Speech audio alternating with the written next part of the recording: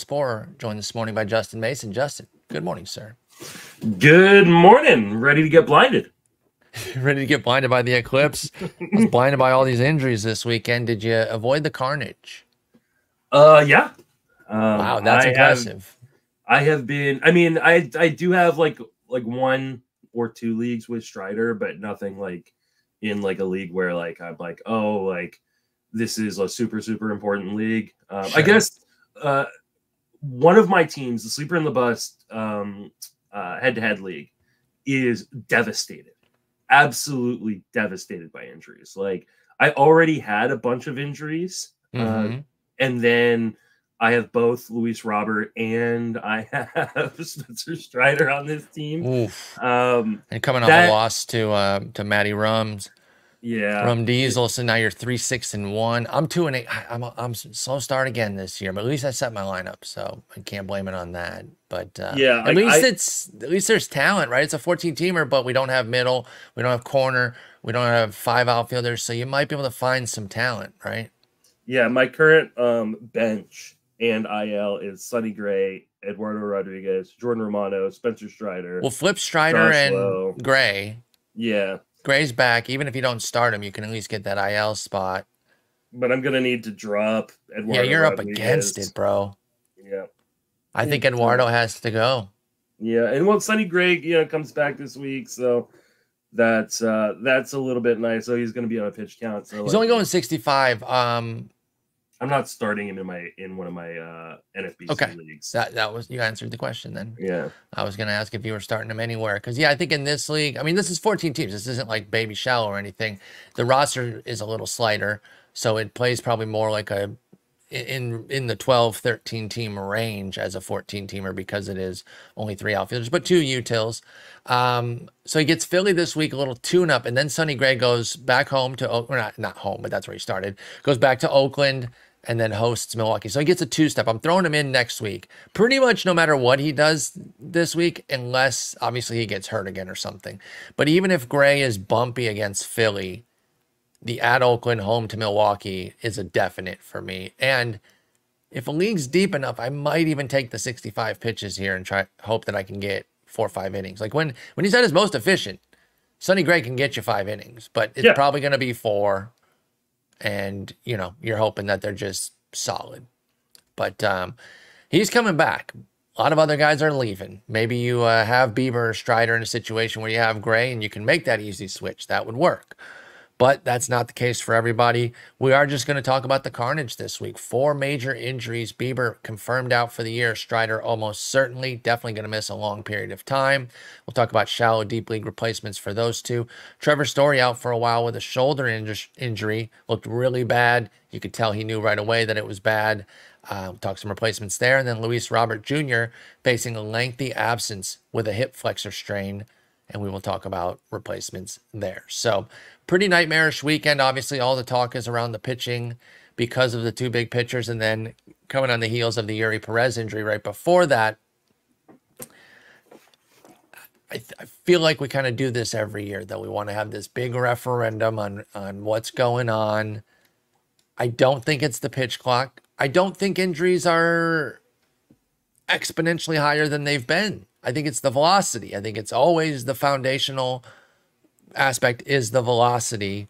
Everyone throwing as hard as they can for as much as they can, you know, just emptying the tank. And the way they're training to do that, now you're throwing in all the spin and all that. That's adding to it a bit more. I'm not saying that the pitch clock isn't maybe exacerbating it a little bit, but you could turn the pitch clock off and the injuries wouldn't change tangibly, I don't think. What do you think about it? I mean, I definitely think it is maybe like the straw that's breaking the camel's back at this point. Only but... conversationally, statistically, it's just not showing to be the case. Even with yeah. the with the downturn, again, it's because we've got three big events here. We're going to look for one thing to blame. It's the velocity. Yeah, I think it's. I think it is a, a combination. Of, I mean, for sure, it's velocity. Like guys are trying to throw harder. Mm-hmm. Uh, you look at both uh, Strider and Bieber, especially. Like Bieber went to Driveline to try to yeah. throw harder this last uh, this off season. Uh, it worked until it didn't. Yeah. Uh, and then Strider, you know, added a new pitch on top of velocity. So I think like I, I say it every year when we have these injuries. Like added velocity is not always a good thing. Um, Well, it's positive for success. Yeah, it, it's it does add to your injury risk though, hundred percent. Like Mhm. Pitchers are just risky. Pitchers break. I I don't think this makes me any less likely to take pitchers early. Um, because mid and late round ones do too. Hitters can get hurt too. We're going to talk. You know, Luis Robert is a second round type of guy, and he's got he got hurt too. So it's not just like hitters are this super safe avenue. Pitcher injuries are higher. I'm not blind to that. I'm not saying that, that that's not the case. I'm just saying like we can't predict injuries. I'm not necessarily going to run away from them. I am glad I didn't take Strider at number one overall, though. Um, Isn't it interesting main though? event. in the year that like this was a year where we had like probably the fewest amount of first round uh pitchers. Uh, Yeah. We lost both of them. Yep, Like, immediately Strider and Cole out on April 8th. Unbelievable. like yeah, it's just yeah. It, it, I mean, it's scary taking pictures early for, for this reason because you lose them and it just feels. This is why. Here's the thing: if you are going to take them early, just back them up. Don't make them your only thing. That that's really my only, you know, takeaway from a draft standpoint. Like you don't have to be afraid of early pitchers if you still like to maybe take that ace because a lot of time aces work, and then they're one of nine instead of one of fourteen on your roster. And there's a lot of winning teams that have aces that, that they took early. You know, you can find just as many examples of it working as the injury blowups. So it's not a referendum that says, oh, you can't possibly take them early. You can also still Back win up, when though. you lose them, right? Like, exactly. Do not quit your leagues.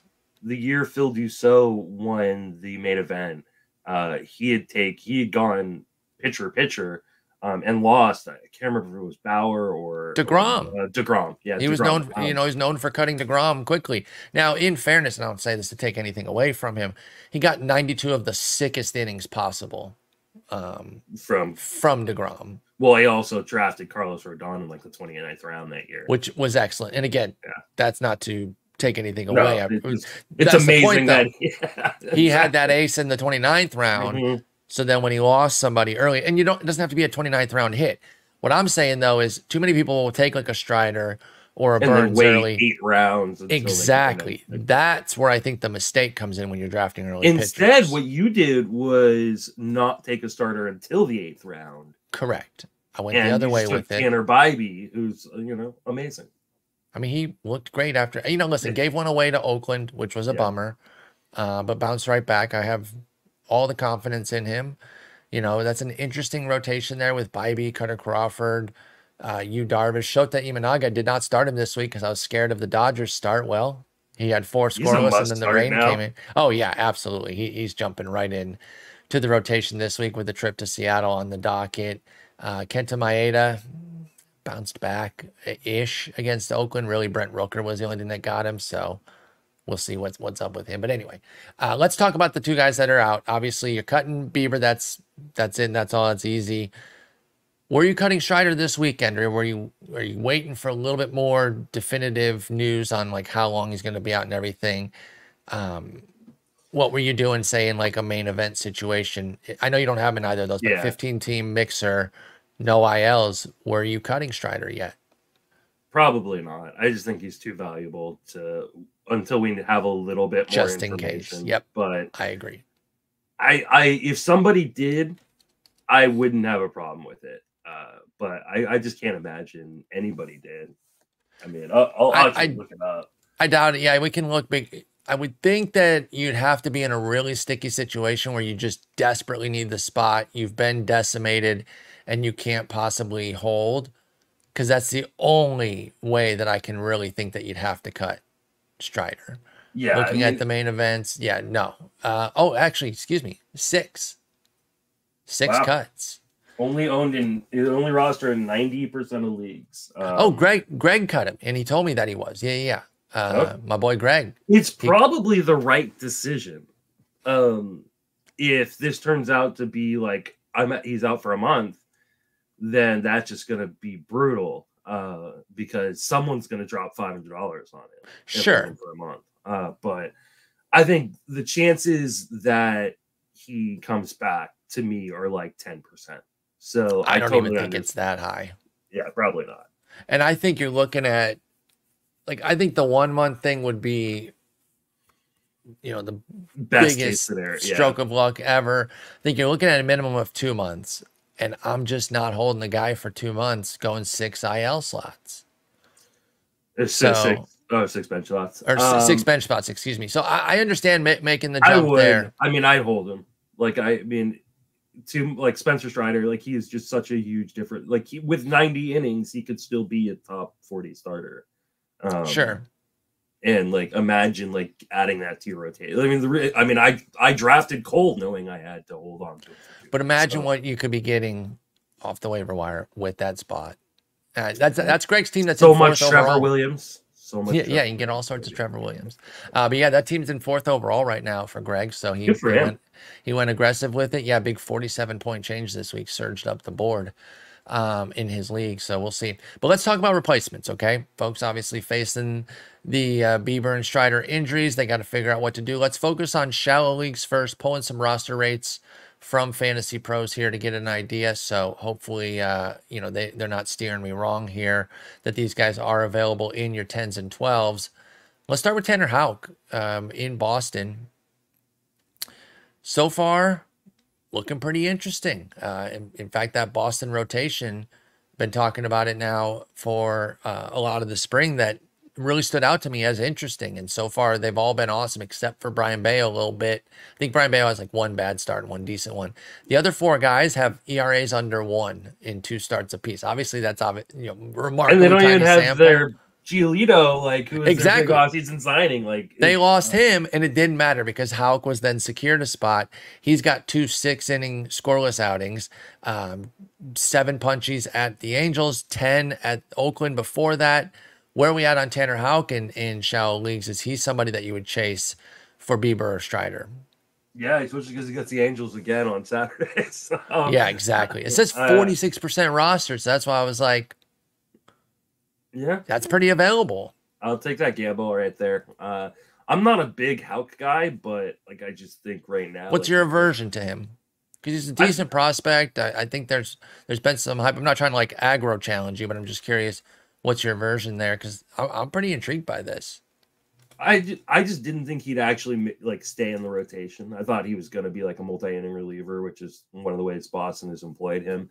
Uh, but they're giving him an opportunity, and I think this is an opportunity he can run with because you know losing Giolito for the year means like they don't have the depth that they had, like you know, and so him and Whitlock are both gonna like I think stick in this rotation for a while. And the stuff is really good uh, if he commit and, and controls it uh, consistently. So far, so good early on. I do wonder if there's going to be bumps if he's going to struggle as the season goes on, but that is uh, a problem for later. Like I, Yeah. especially in your tens and twelves, like Yeah, don't, worry the long about yeah, don't worry about July. Don't worry about August. Like worry about like barely worry about. June. Yeah, Barely worry even- about June right now. I wouldn't even worry about June. Yep. like, when you're kind of churning the back end of your roster, like just grab guys and ride with them until they fall apart, and then if they fall apart, then you go on and get the next Tanner Houck because there will be guys like that. Live in the here and now with with stuff. The rest of season questions, we got to abolish them. Like, Yeah. they're kind of worthless in, in most formats, really. Yeah, even in 15s, like I'm not Yeah. like like I when I was just joking about uh Trevor Williams, like he was my most picked up player this week. Like he's not going to be on my roster next week, more than likely. You know, depending on Exactly. who who he goes up against. But like, hey, he's got a two start versus San or at San Francisco at Oakland. Like, Got the uh, uh, Bay Area two step. yeah, That's and it's not- supposed not to be beautiful weather this week. We're gonna not a bad setup there for 70 Trev. We're gonna hit 78 this week. It's gonna be beautiful. Damn. Yeah, we're up in the high 70s, low 80s. Taking the dogs out on some walks. We already got a morning walk in today, so I'm, I'm feeling good. Uh, let's go in house in uh, in Cleveland here. Now he's not the replacement, but Logan Allen has had some shallow league viability or availability, I should say, and uh, he's definitely out there in a decent number of leagues. Off to a pretty good start. Uh, first off, they've been playing very well, so they've been supporting their pitchers nicely. He's already two and zero. You know, wasn't great against Oakland like um, uh, like Bibee, and you're like, dang it, come on, man, you're in Oakland. Start off strong for me. Three runs in five innings, three strikeouts. You're like, ah, oh, that's boring. But then six and two thirds scoreless at Seattle with six Ks for Logan Allen. Not that we were worried, by the way. Um, so we we definitely liked where he's at after two starts. Is Logan Allen somebody that you see in a shallow league situation as a pickup? Yeah, especially because he has a two start this week, and one of them is against the Chicago White Sox, uh, who I don't even know who they're going to be playing at this point. They lost their best two bats in Eloy Jimenez and Luis Robert. Uh, it's going to be like Gavin Sheets, Yoan Moncada, and a bunch of other no name players. Yeah, and we'll we'll talk more about Sheets in a moment so, uh, as a potential, you know, Robert replacement there. Yeah. But yeah, I, I, like Allen. I think he's really interesting and definitely somebody that uh, I would pick up in a shallower format.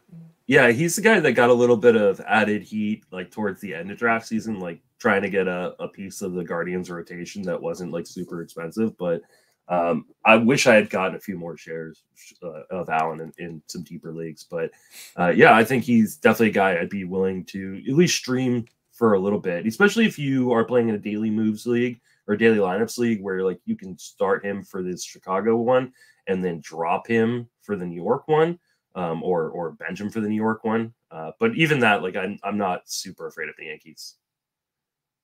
You're not. I mean, uh, uh, I would start Logan out. So I, I want to be yeah. clear, but generally, I'm not super keen on facing the Yankees. Um, yeah, like it's not like it's not a matchup like that. I'm. Uh, it, it's not like the Braves. It's not like the Dodgers, where like I like I'm like oh, it's not I'm that far not... from me. I'm I'm a, I'm a little bit more fearful of of the Yankees. They they got that home run power too. So if it's a home run guy specifically, again, this mm-hmm. does not apply to Logan Allen. I, I would start Logan Allen in a good number of spots. I really like him. I think at 29% roster, this is a composite of ESPN and Yahoo, by the way. So uh, that I'm pulling off of Fantasy Pros. Let me check him on our Yahoo league. I just want to see where we're at here and like how often these update, like how viable these numbers are. Because 29 feels low. I think, I think they probably update pretty quickly. He's 45% rostered at ES uh, at Yahoo. So that would mean that he's like not rostered at all at ESPN, which I guess is possible, but that that feels a little light. Maybe he's not as widely available, Logan Allen. Um, obviously, I'm still interested. Go get him, but I wonder if maybe they didn't update these uh, these composite numbers yet because he is zero percent rostered at ESPN. There you go. How's that possible? Did Wait, you look up that, the right no, Logan Allen? I, I, looked, I, must have looked up the wrong Logan Allen. That okay. All right. All right. There we go. Uh, he is 20% rostered at ESPN.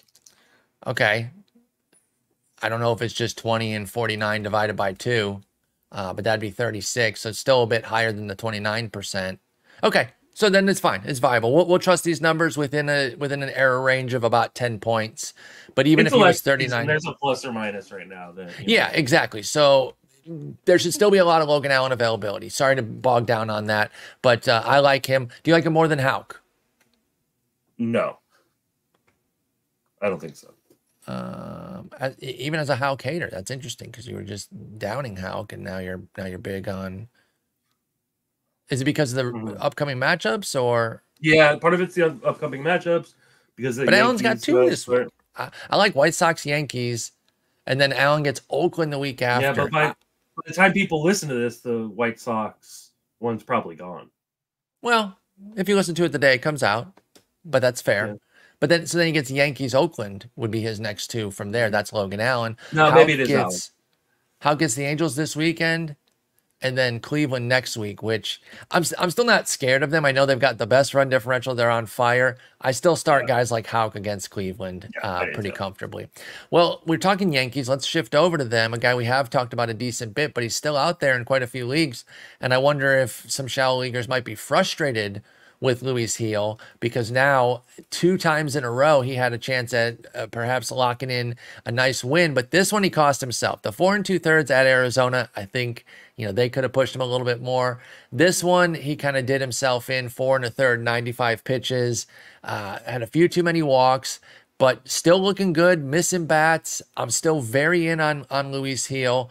Just would like a win. He goes to Cleveland this weekend and then hosts Tampa Bay the following weekend. Um, I'm in on Gil. What about you in shallower formats?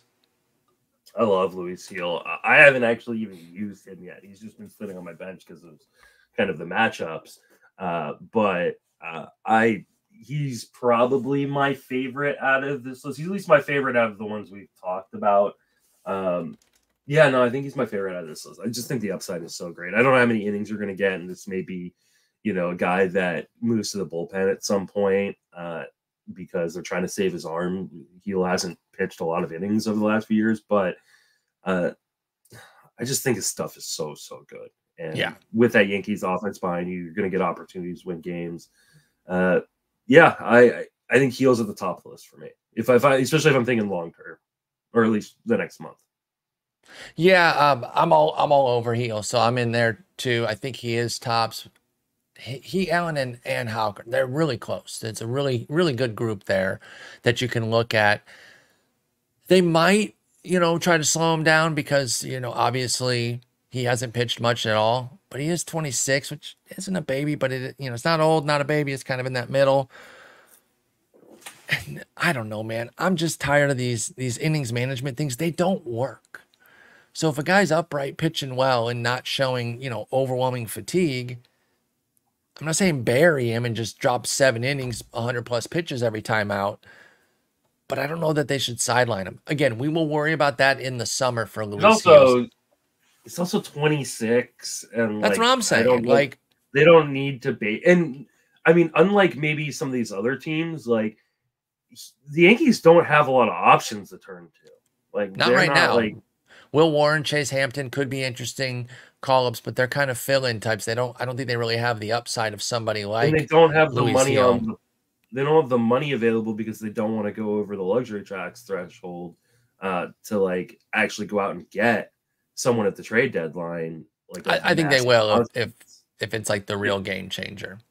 Yeah, but like I think he's. I think they probably should try to ride with him. I don't know if they will because well, like it depends what they look like when Cole gets back, right? Because if Cole gets back and nothing else happens, then I do think Gil does go into the into the swingman situation where he'll get multi-inning outings out of the bullpen, or maybe even get sent out to stay on uh, full schedule in the minors. Because you got Cortes, Rodon, Stroman, Schmidt. Now, are we sure that those four are going to be upright by the time Cole's back? Who knows? That's why we talk short term with Gil and just worry about the here and now. And in the here and now, he's somebody I want on my team.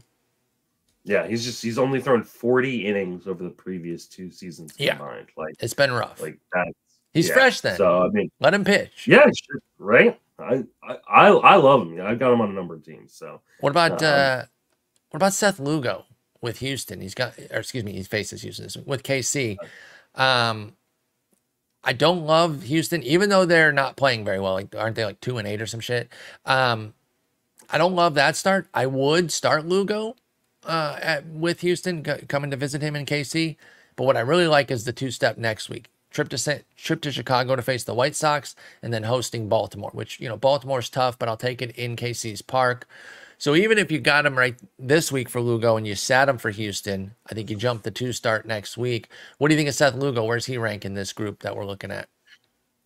Yeah, I'm I'm not starting Seth Lugo this week uh, versus Houston. I know that they're three and seven, uh, and that two of their wins have come off of pretty much no hitters. but uh, like that offense, Blanco is, to save them. Unreal, dude! Like unreal. Like what a story, Ronel Blanco. It's awesome. Uh, it's it's been really really cool. Uh, but yeah, I probably I'm not starting him this week versus Houston. Uh, even in my 15s, I'm going different directions. So even in your 15s, uh, yeah, yeah. Imagine having that kind of depth. Okay, nobody needs it. No one likes I, a braggart.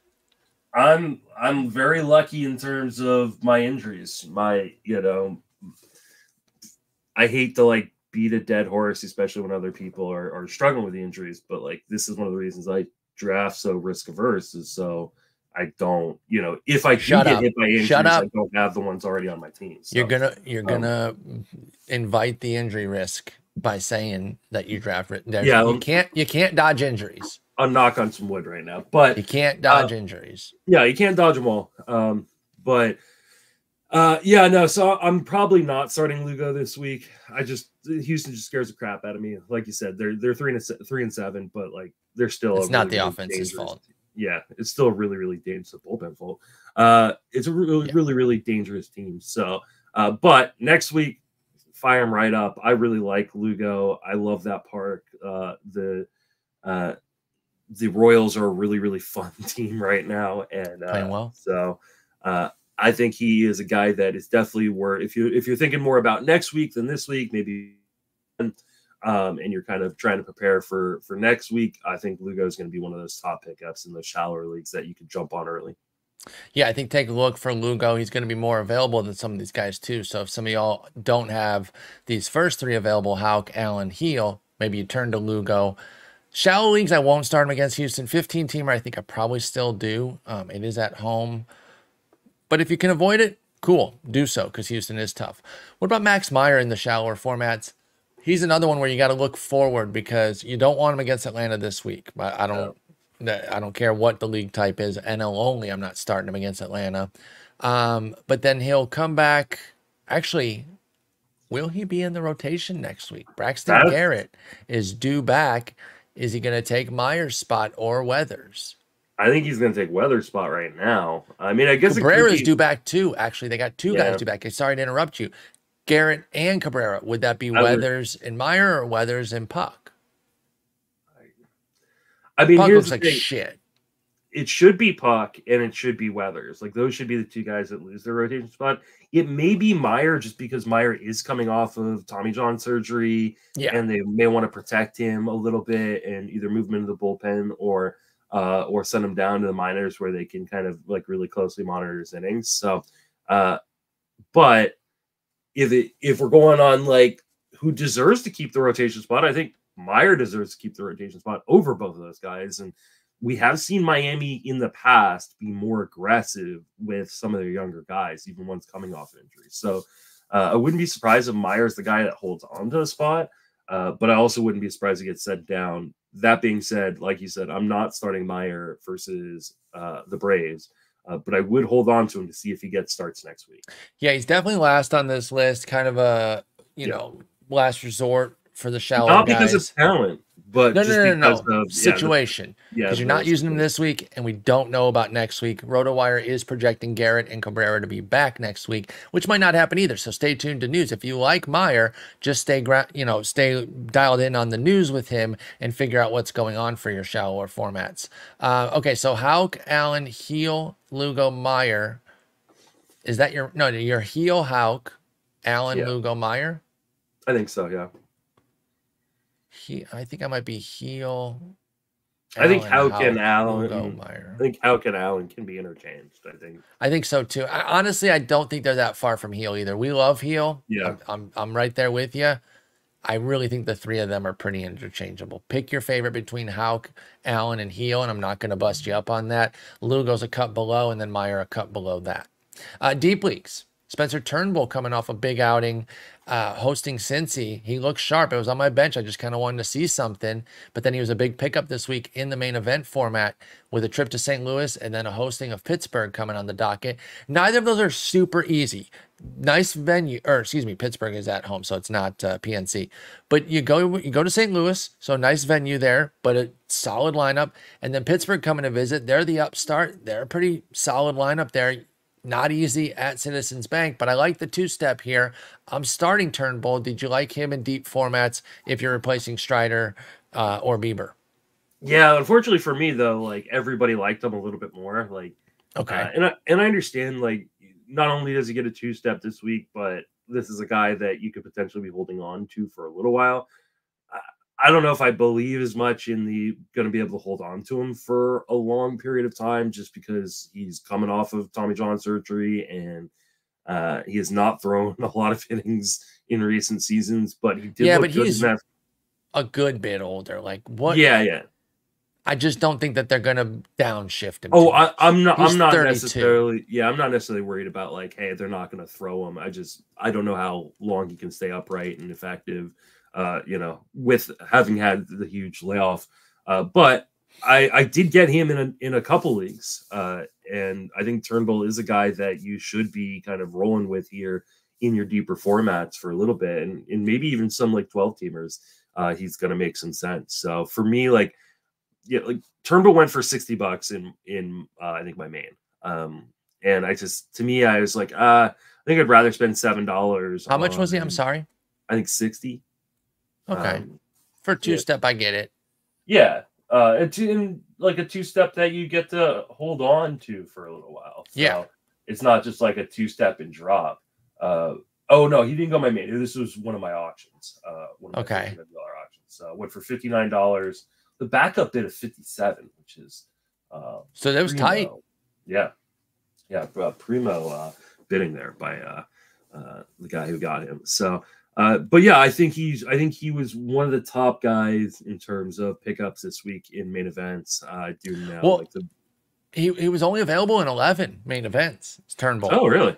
Yeah, so there there was a lot of people that were already holding him.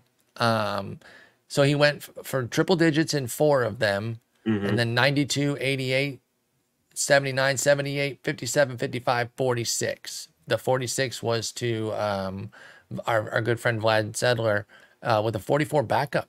So they were really tight there. The Fab yeah. Whisperer. The Fab Whisper, two of the triple digit bids had triple digit backups. So they needed to be up there.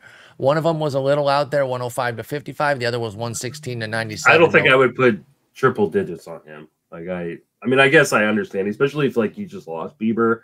If you lost just Bieber or Strider, I Yeah. totally understand going for the. It's two step. I, I get it. I, You might be just- able to hold know, on to him for quite a while. Yeah. uh, but yeah, that's so triple digits this early is. You better be getting a real difference maker. It's a lot. It, it- is definitely a lot to go for, but I, I guess it just depends on your situation there. And there were two other people, the two backups that went 100 uh, on that as well with Spencer Turnbull. What about Cody Bradford? This is very short term because it's it's almost certain that Michael Lorenzen's going to take his spot, but he has Oakland this week. So he was picked up in 40 main events. He went triple digits in three of them, did not have aggro backups at 26, 65, and 53. Um, I mean, he went as cheap as five and eight in a couple leagues. So he really ran the gamut from $5 to $125 for Cody Bradford. Just depends on what league you were in going for that one start. I was interested, but he ended up just going a little bit too high for me. Um, I think he was like 30 something to my 20 something backup. I was like, if I could get it, cool. Yeah, 53 actually to my 21 backup. And I was gonna try. I was gonna try a, ga- a gambit here that uh, Greg and I were talking about. You know, I love Patrick Sandoval, right? And he bounced back nicely, but he has Tampa Bay this week. Whatever, probably not going to start that. But then next week he's got this like really killer two step, and we were talking about like cut him and try to bait somebody into picking him up for the at Tampa Bay at Cincinnati two step. And then they'll just cut him after he blows up in their face anyway. But there weren't that many guys that I was interested in. So I was like, if I can get Cody Bradford, I'll do it to try to get the Oakland start. But that was it. And I put 21 on Bradford. He went for 53. So I, I still have Sandoval. But what do you think of the idea of cutting somebody with an upcoming two step that you think somebody will pick up that will be bad, like setting out a bomb? I don't love it. Um, I just don't think it works very often. You don't think Sandoval will be picked up? I mean, I think he would be picked up. I just don't know that like it's gonna uh, uh, ever work out the way you want it to. This will be that'll be a two step where he just shoves. Based on what? I don't know. He looked better in Okay. this last one. I picked up. I picked up Sandoval. I love in- Sandoval, but the I picked up Sandoval for his start this week versus Tampa Bay. He looked much better in his last start. The idea that it's like a high likelihood that he shoves at Tampa at Cincy No, it's not insane. a high, it's not a high likelihood. It's a tiny It's- likelihood. It's a so the tiny gambit, likelihood. It's um, it's the idea that it will happen to you. no, I, I don't believe like every bad thing, you know, nothing good will work out for me. I thought it was an interesting gambit. I only wanted to do it if I could get not you a have not paid attention guy. to your own history, huh? You're stuck with me three days a week. Everything bad does happen to you. No, I'm, I'm able to work around that. Well, we'll see how Sandy does. Uh, he gets Tampa Bay this week. You said you did pick him up for that, so um, that will be interesting. But with Bradford, did you like the Oakland start this week? Were you chasing Yeah. that anywhere? I was, but like again, like I'm just not. This for me was a week of like, hey, I'm gonna dollar, you know, bids. It was a quiet I, week. I, I think I spent twenty seven dollars on Ezequiel Duran. I like that. I, Yeah, I got an Ezequiel Duran type guy in Oliver Dunn. Yeah. So like Um, I I think that was my biggest bid this week was 27 bucks on in a in a missed $27 bid on Jose Abreu. I got Uh, Jake McCarthy for 36 to 31, which felt good. And then Ivan Herrera, a little bit hot at 27 to 12, but I really like him. And Yeah. uh and I thought that, you know, with the Willson Contreras injury, even if Contreras is okay, maybe they DH him a little bit, get Herrera behind the dish, and dude can hit. So I I went pretty aggro on that one. Um, but 27 is not going to kill you. No. 27 bucks. So feel good there. Anyway, Bradford, what do you think happens though? Do you think that they're, I was talking about this in the RotoWire chat yesterday with uh, Scott and Jeff, and just a quick moment to say uh, our, our love and condolences go out to Jeff. His mother passed away. Oh. Um, he did the show yesterday and said, you know, wanted, wanted that time away with, with friends to kind of, you know, not think about it for a moment. But uh, again, I don't know if he listens or not, but he knows that we love him, care about him, Yeah. and hope everything's all right there.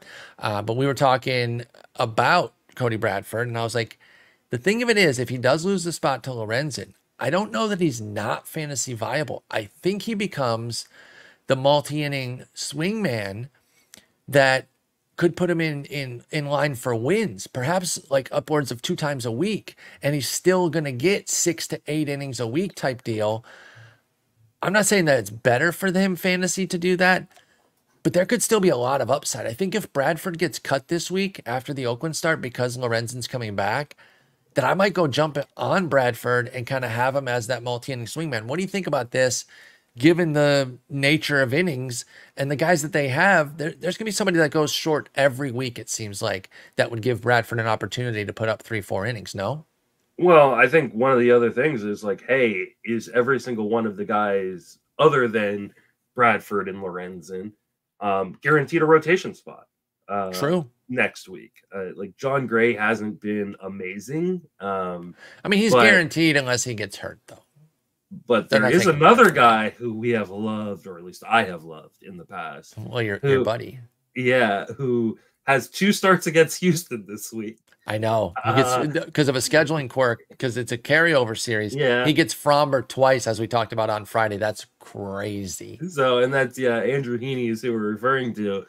Uh, if Andrew Heaney gets blown up uh, in these two starts, which could very easily happen, That's wouldn't true. he play really well out of the bullpen anyways? Absolutely. Maybe he becomes that guy. But then would you have interest in him for that exact same reason? Probably not. It's still Andrew Heaney. I know, but if he's, I don't know. I'm kind of interested in in this idea of whoever it is. More so Bradford. I like him a little bit better as the swing man, getting some leveraged opportunities to go against, er, to, to maybe snake some wins, even though they're not starting. So I don't know. Just keep an eye on it. If things, if he does get moved out after this week, uh, which is certainly possible, maybe don't cut him or do if you're in my league, so I can pick Cody Bradford. Up. Yeah, I mean, I think here's the thing is too like like Lorenzen still needs another start. Maybe you know he needs another start after that. Like, Yeah, he's not it- guaranteed this week.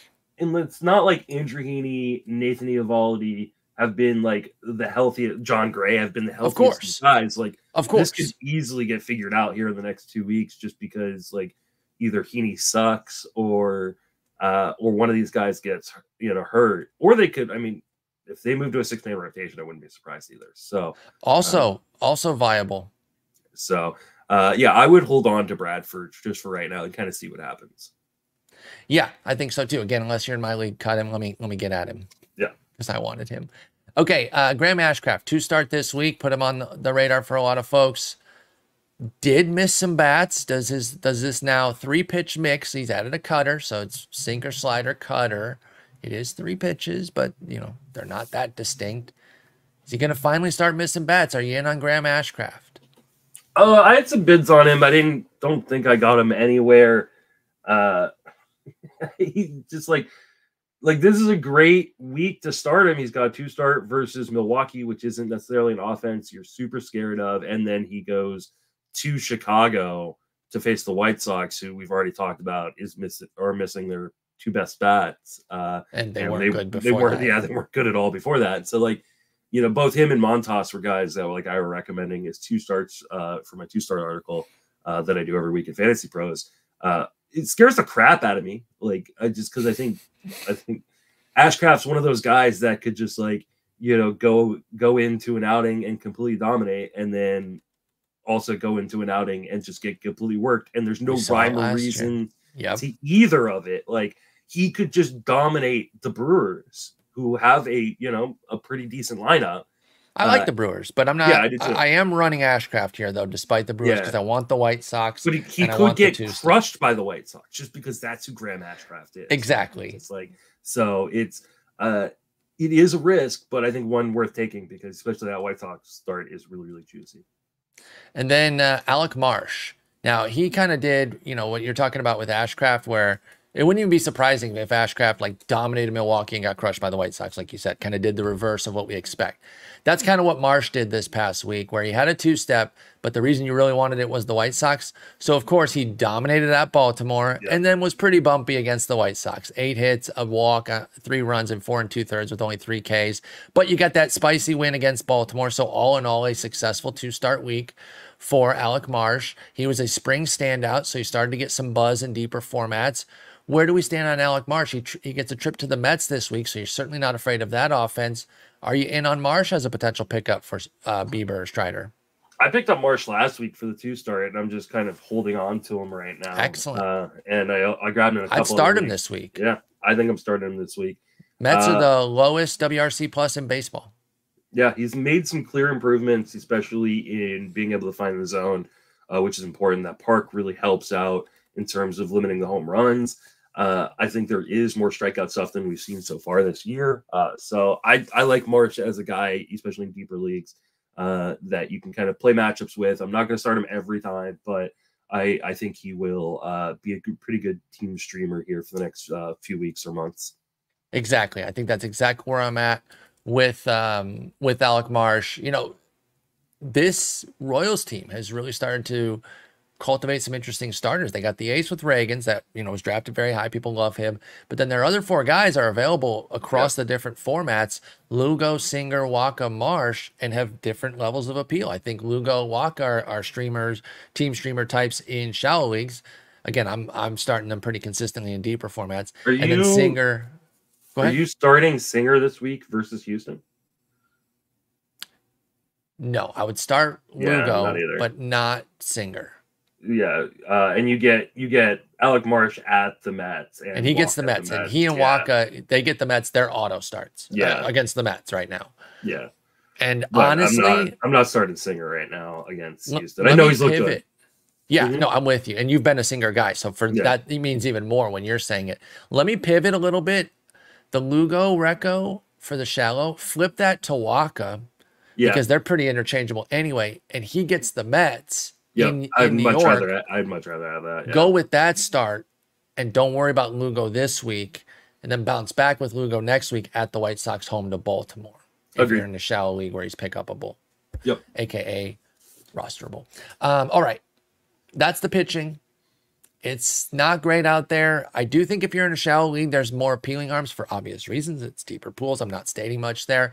Some interesting guys this week though, because I do think the starters kind of led the charge in uh, in the main event pickups and whatnot. And main event isn't the only type of deep league, by the way. So I, I know we kind of focus on that, but some of those guys like there's kind of a middle group too that we probably could have gotten into that is available in some shallows and some deeps. But if you have any questions specifically, we're always available. In fact, Justin's gonna be doing his chat here soon. Obviously, by the time you're listening to this, his chat is over. But every Monday afternoon, he does a chat at noon Central, one Eastern.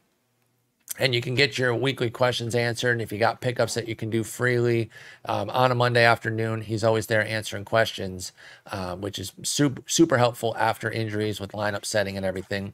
But let's talk story. Trevor Story out for a while with a shoulder injury. Again, it was obvious immediately. He would dove for a ball, landed awkwardly, rolling around, writhing in pain. You knew it was bad. He knew it was bad. Going to be out for some time. I think he's a pretty easy cut, although I don't know if they've said exactly what it is yet. Um, No, they haven't. It's, so maybe not an auto cut yet, but Yeah. I, I, I'd in shallow leagues I would cut him.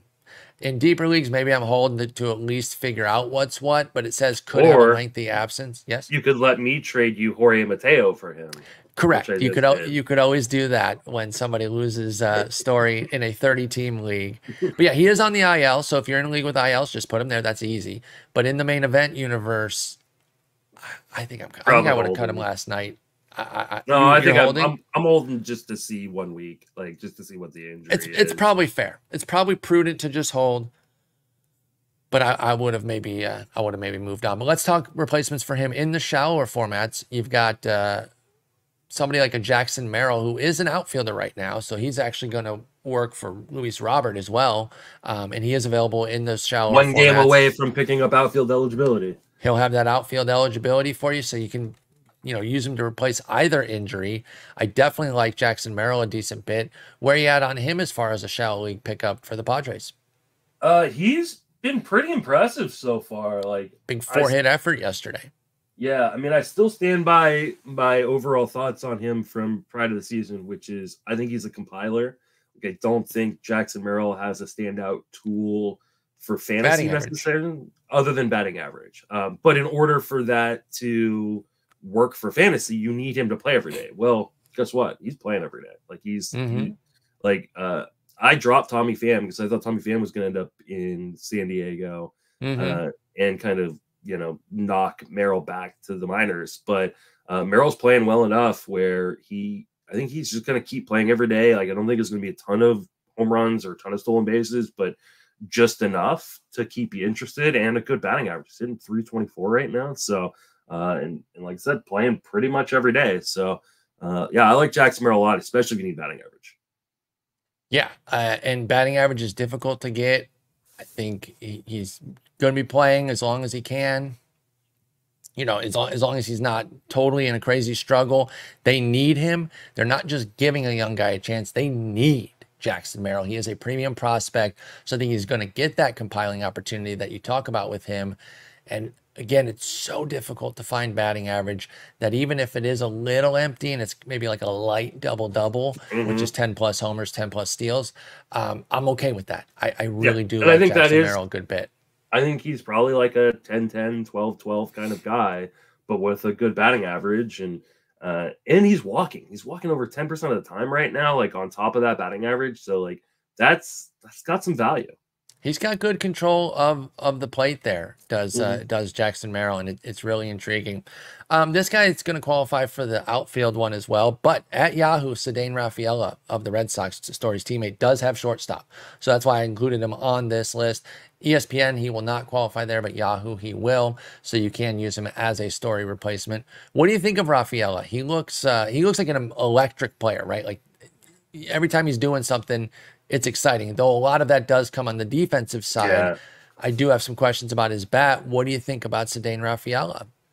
So another one of these guys where I say my preseason thoughts on Rafaela kind of stick, which is uh, there are some loud tools, especially the uh, on the defensive side of the ball, but like there's power and speed in the profile. The problem is he really struggles with swinging outside of the zone. He really struggles Yeah. making in zone contact. Uh, it is on display right now where he is swinging outside of the zone almost 50% of the time, 49.3% of the time. Like that isn't going to be sustainable. His swing strike rate is 14%. Uh, he's only making 82% in zone contact, which is actually better than I expected. I really thought he was going to be like in the 70s in in zone contact. Uh, there's going to be a lot of strikeouts when he does make contact. It's going to be hard, but I, I think he he's one of these guys that like if he is going to continue to play, like he's not going to be very close to the top of the lineup. He's going to be at the bottom of that lineup. Oh Uh, yeah, and and I and I don't know how long they're going to let him just run out there if he's swinging and missing as much as he's done it. So Mm, I mean, he's got like an 85 WRC plus right now for Ceddanne Rafaela. Yeah. If he's in that world, I think the defense is enough to eat it. Now that doesn't mean it's good enough for fantasy purposes, obviously. The problem I is think the I think Red he's going Sox to would keep running him out. I think he's going to strike out at like a 35% clip. Like I, If it's I mean, 35%, that's going to be rough because he walks Yeah. single digits. yeah. Um, it's at 26 right now. If it's in that range, that's livable. But if it if it pushes into the mid 30s for Rafaela, swinging outside the zone fifty percent of the time, like that. he chases for sure. Like yeah, that, why is the pitcher scary. even going to throw it into the zone for him? you would think that that would be a bad idea. Yeah, Like, he's this is- need to this is show Javi that he can level. be patient. Yep, Yeah. So right I'm- down to I'm- the excellent defense. Right. Yeah. it's very Which- Javi Javi Baez esque. which like if Javi Baez didn't have that contract, would he be playing every day? No, I don't think so. I mean, I. Maybe the defense most days because of the defense, Yeah. but yeah, you're you're right. Especially last year when he was toting a 60 something WRC plus. We'd be talking about Javi Baez like we talked about Nick Ahmed. Yes, it, it would be that that kind of vibe, Yeah. um, for sure. And by the way, Baez looking no better this year with a No. negative 22 WRC plus. Who could have seen that contract not working out? Wow, so surprising. Ezequiel Tovar. I know you're not the biggest fan of his, but um, you know we're scraping the waiver wire. We got to find some things. They're finally starting to get some Rockies home games, including three to start this week against Arizona. Two homers and a steal for Tovar. Is striking out a ton though, and the swinging strike rate has jumped up to 22% to foster a 31% K rate. Is walking more than he did last year at 10%, double what he was doing last year. So I guess there's a little positive there. But uh, what do you think of Tovar as a pickup? You know, putting aside for a moment your thoughts, uh, uh, not putting them aside because they they color where you're at. But given what's available, is Tovar somebody that can even uh, crack your crack your potential pickups? Um, I mean, I would much rather have Jackson Merrill. Like, I mean, I, I get like people are always going to be enthused by uh, Colorado, but they always they're always like, oh, he plays in Colorado. Like, they also have to play outside of Colorado, and you get that negative, like you know, down downgrade when you Well, Colorado's Colorado. not magic either. Yeah, Uh, sorry, sorry to interrupt you, but like, you still have to be a good player on Yeah. some level. It does not just magically make you good. It enhances you, yes, no doubt about it. But he put up a 753 OPS at home last year. Ezequiel Tovar did, right? So it's like you got to still be able to do something. So I'm with you there. Um, so I don't think you're particularly interested. I want to bring up No. another guy that I just added to the list because we've talked about him, but I didn't realize he was only 25% rostered and he's still How? running. I, I don't know. So that's why I didn't include him originally because I didn't think Brice Turang was going to be that available even in shallower formats. And yet here he is, um, very available. And so we got to we got to talk about him as well. Now he is 63% at Yahoo, so Yahoo, y'all are doing y'all are doing it right there. But ESPN, And- you're at 25%. What's going on over there? and part of that is I think that you know both Yahoo and ESPN caters to points leagues where the stolen bases aren't as valuable as Okay, that's fair. maybe um, are for for Roto, but like I think Brice Turang should still be rostered in points leagues. Like he's just I would think so. he's making a ton of his own contact. He's stealing bases. He is you know Ride the him every day. Like just ride the hot streak right now. Like yeah, I mean he should be rostered in every league. Um, somebody asked me, and you know, and we can loop in a guy from the from the deeper list. Like, uh, would I drop Thairo Estrada for uh, Brice Turang um, and Jose Caballero, uh, or or Jose Caballero? And I said, yeah, I think I would. Definitely for Turang. I don't. I think I would. Uh, Estrada looks lost. I was not a big Thairo guy, but I'm wasn't ready to take my victory lap. It is still just 10 games, but I mean, with the way to, here's my concern about Turang though, about picking him up now, especially for somebody like Estrada, is that potential seesaw where you then get the come down of Turang while Estrada, you know, regresses back toward the mean there. And so then you end up getting, I believe Jeff Erickson calls it whipsawed, where you don't get, I said seesaw, but I guess similar concept, but where you don't get any of the goodness then.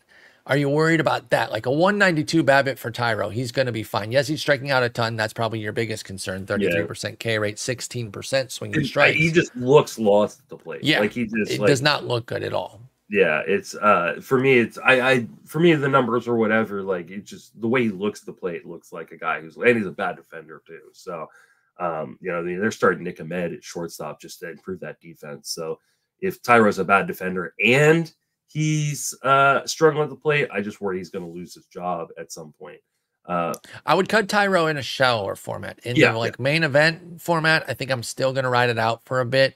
But I would go for I would go for Turang. I will ride the hot streak with Turang. I know it's gonna come down to earth, but even when it does, he should still be getting bags whenever he's on because he's running Yep. wild right now. And so yes, the 474 BABIP will come down, no crap.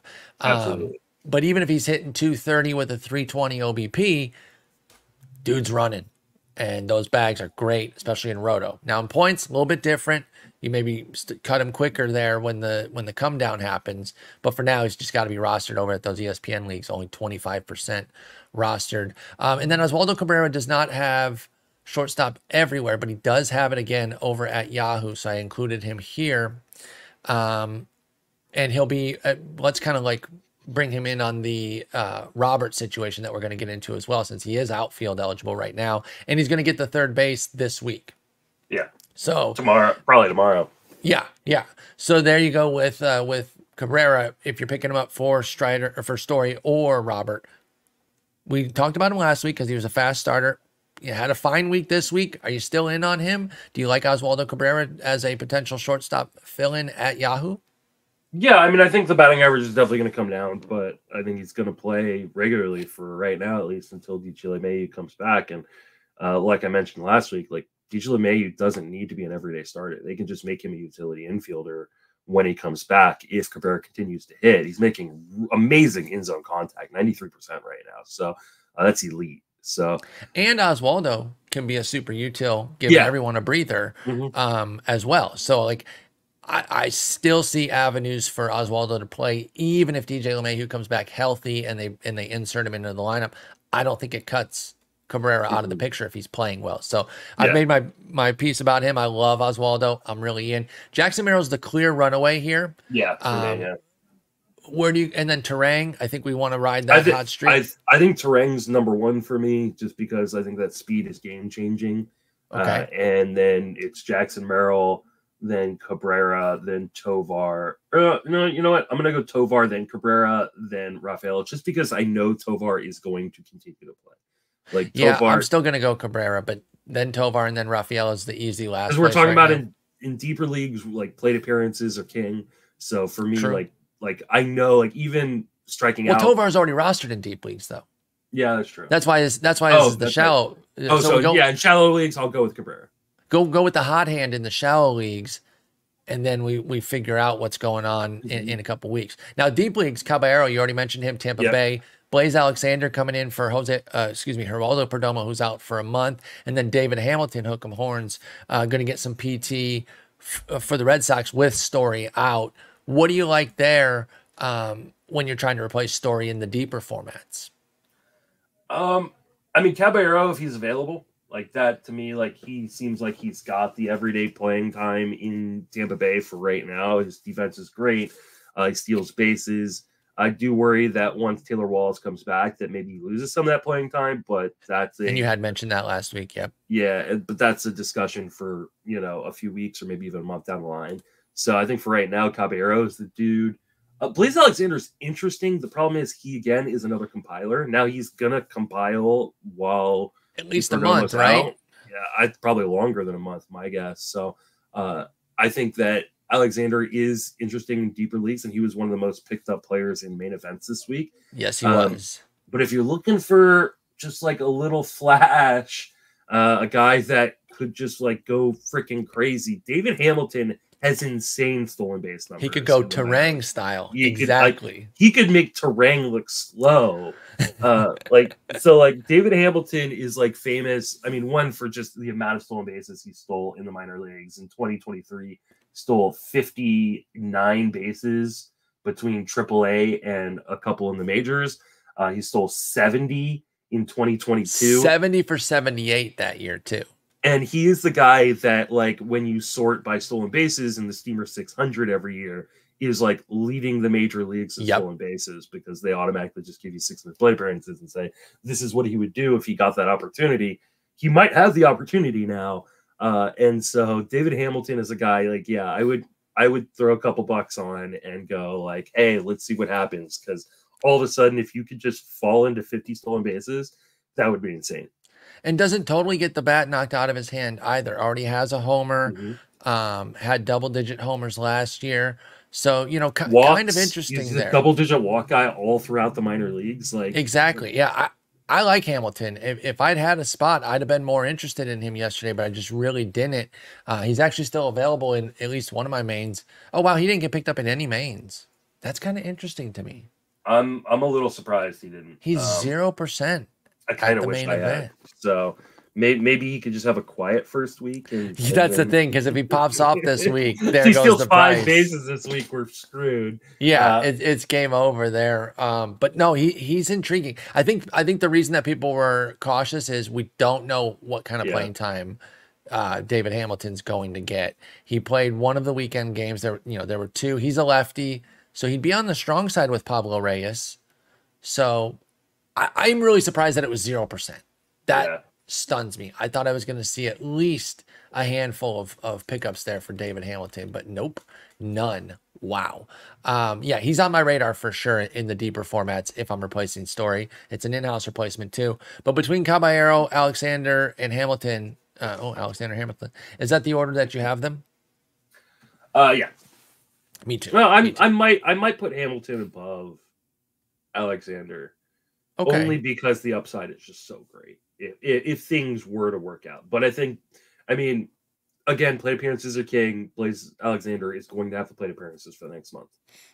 I think that's you know, and then in the deeper leagues, that's why I'm going to lean that way. But um, I'm excited by Hamilton's upside too. And again, former Longhorn does add to my bias a little bit there. I want to get that on the table just so you guys know where I'm coming from there. But I do like him. All right, Luis Robert Jr. Let's finish up with him. We talked about Merrill. We talked about Oswaldo Cabrera. Um, MJ Melendez in shallow leagues. He's popping off. He's Yeah. blasting right now, looking nice. Lower roster than I thought. I was actually kind of surprised, only 15% over at ESPN. And, you know, part of that is that it's not five outfielder leagues. He, he doesn't Yeah. really have catcher eligibility at ESPN. I shouldn't say doesn't Does really, it- as if He, he, does doesn't. at Yahoo though. He does at Like, Yahoo though, and thus he's going to have uh, a higher roster rate. He's seventy one percent, so not nearly as available. So we're really kind of narrow. I agree, but we're kind of narrow focusing ESPN here. Unless, but check your Yahoo. Never assume.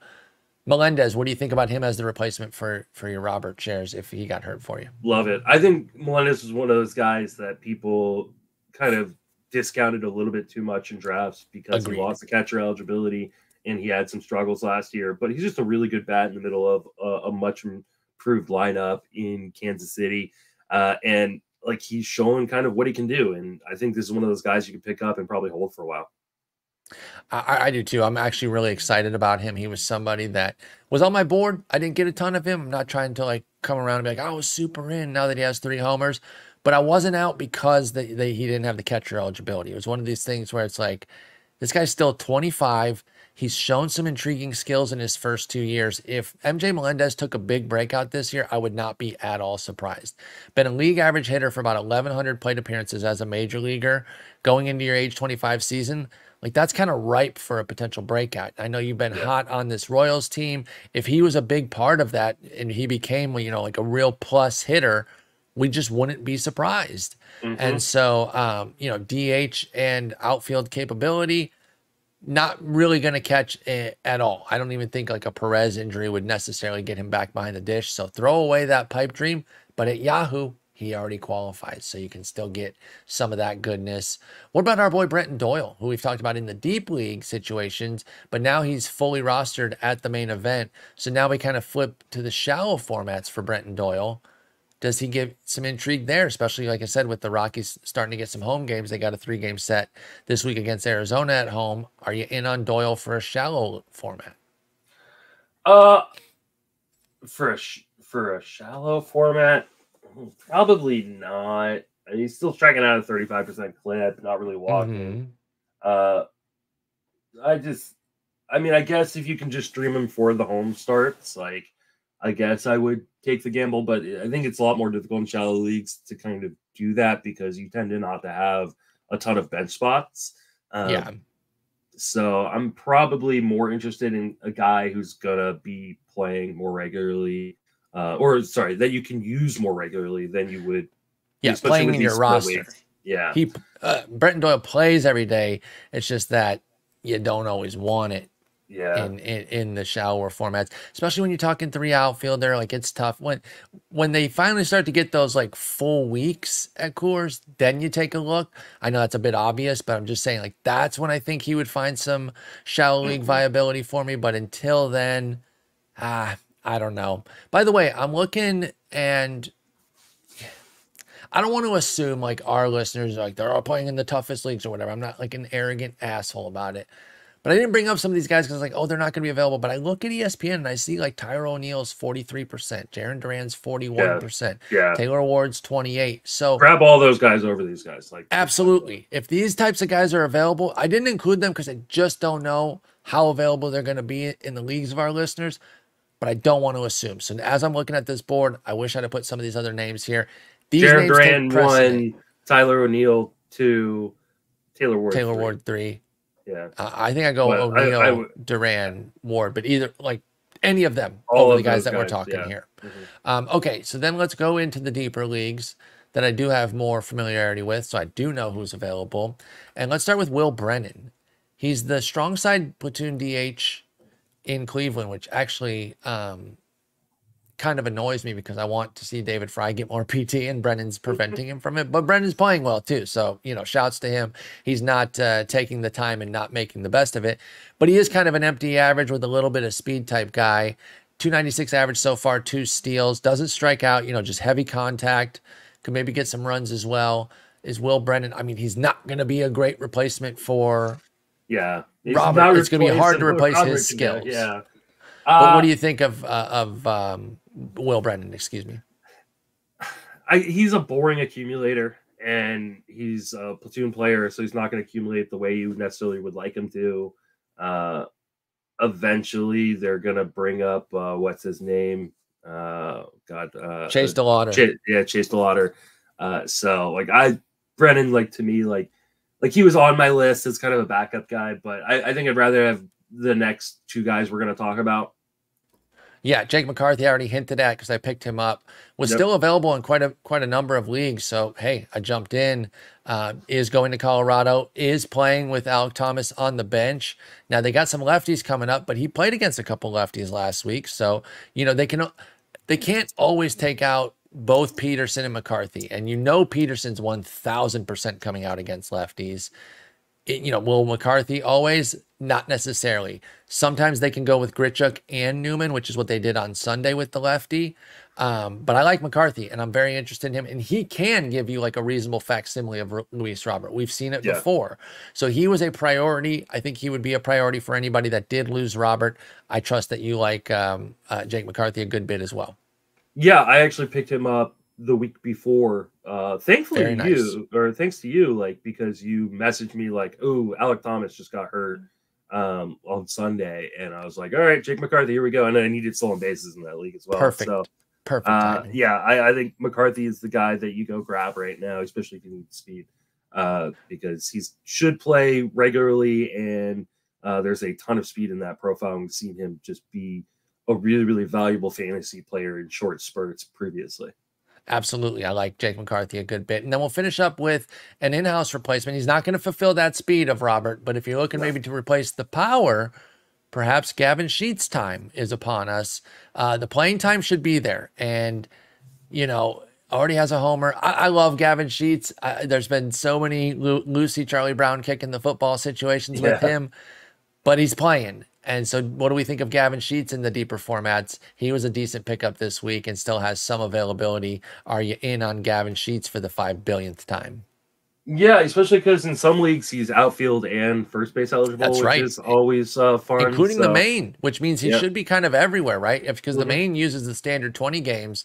So then you really should be able to get him at first outfield everywhere for Gavin Sheets. Yeah, there's a lot of power in the bat too. Like, and this is a guy who, if he's making consistent contact, like he should be able to, you know, unlock, you know, 25 plus homers in a full season's worth of plate uh, plate appearances. And right now he's going to play, like you said. Like he may be on the strong side sometimes, but I think he's going to play fairly regularly in Chicago because they just don't have anybody else. I mean, I, I really this this is an awful team. Like Like I thought, I thought it was a bad team before, and now losing. And they really showed you that it's like yeah, next level once Robert goes out. So Robert it's- and Eloy goes down like that. yeah, just disastrous. Uh, so it, it is Oh. it is brutal, but it creates some playing time opportunities. Uh, Let me throw in one other guy just because he's on that team as well, and maybe could give you a little tinge of the speed too. Do you like Dom Fletcher at all? Never mind, he doesn't run that much, but do you like Dom Fletcher at all getting playing time?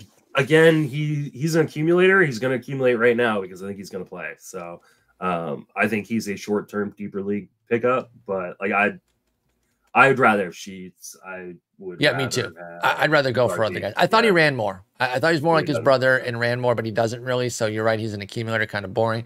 But anyway, sorry if he got hit by the carnage. Everyone will get theirs at some You, point. You didn't mention the one guy left on the list. I just want. oh, Just who's real that? I'm sorry. You had Bubba Thompson. Oh yeah, Bubba yeah, yeah, yeah. God, I really wanted to bring him up too. You want to know the crazy part is he has four plate appearances. Oh my God. So he's coming in as like a pinch runner. So if you miss out on Turang, you know, he's not available in the deeper leagues anymore, and you're really chasing that speed, that's the if that's the part that you're really going to miss from Robert, he could be the Rajai Davis of remember Rajai Davis of old. We Yeah. reference it a lot. Jarrod used to- Dyson, Roger yeah, Davis. They like, would yeah, get 300 plate appearances, but 30 steals. yeah. And so you, you just have to commit to playing him too. You can't try to pick and choose because when you sit him, he's going to steal three bases in a in a part-time game where he comes in Yeah. and steals two bases in one, then gets a plate appearances and steals one more time too. So if you go for Bubba Thompson, just put him in that fifth outfielder spot and let the steals come because they're going to come in spurts and they're going to come at weird ass times too. Yeah. So yeah, I'm glad you I brought him up because I like did want to. I'm mention. not, Me I'm, too. I'm not. I'm not going to pick him up anywhere. they're painful to roster. when when I saw him on the rundown, I was like, "Oh, I got to go check like how many plate appearances he had." Because I knew I knew a few of those stolen bases came off of like a pitch That's running. Uh, Crazy, dude. four stolen bases, four plate appearances, seven games played, four plate appearances. We got to get his stolen bases over his plate appearances. But yeah, Yeah. I'm with you. I don't roster those guys. They don't fit my style and manage to your It's style. It's so hard to figure out when those stolen bases are going to come. Like That's what I'm saying. You have to just commit and just. And we talk about in. Luis Arraez being a negative in other categories. He's literally a neg like he is a zero in all the other categories. Yes. So you really have to have the right fit for Bubba Thompson. But if you want those steals, they could be out there for you. Yeah. All right, Jason or Justin, excuse me. Don't look directly at the sun during the eclipse. I'm gonna go get my glasses right now. I, I got my glasses ready. I'm in Texas, so I've got a chance to get a decent view of it. Uh, enjoy your chat, and I'll talk to you on Thursday. Take it easy.